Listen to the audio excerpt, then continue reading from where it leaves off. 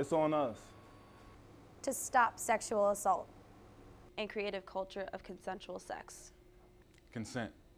It's permission for something to happen. An agreement. Consent. If you don't get it, you don't get it. It's on us.